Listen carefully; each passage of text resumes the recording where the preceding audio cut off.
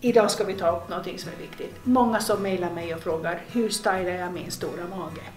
Nu ska ni få se, det finns vissa knep.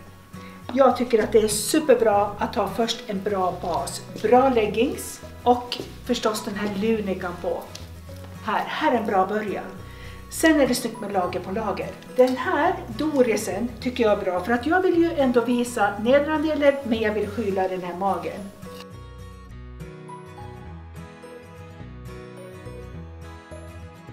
Så med lunikan så ligger ju allting på plats. Det faller ner snyggt och vips!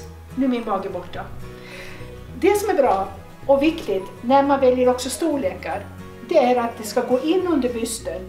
Det får inte gå in under magen, det får inte gå in under rumpan, utan det ska hänga löst så att man tar fram där man oftast är smalast. Och så har man lite större byst och man tycker man har att det ligger ändå att magen putar, då är ju bäst superbra. För då delar man in sig liksom en gång till så att säga. Så. Här kan man verkligen känna sig bekväm när man har lite större mage. Så det här är ett exempel. Men sen ska man vara försiktig med en grej. När det är enfärgat så är det jätteviktigt hur den är sydd. Det får liksom inte vara avkapat rakt av så här. Utan det här är en riktigt bra modell som är lite rundad under bysten och rundad i bak. Det här gör att fallet vid magen blir jättefint. Och när man har mönstrat på sig, då vill det lite grann bort. Det blir liksom inga skuggor på det. Men så fort det är som enfärgat, då blir det lite skuggigt. Då får man vara försiktig. Det är samma som många brukar prata om, de här kärlekshandtagen. Så när man har mönster så vilar det bort för det blir inte skuggigt under dem.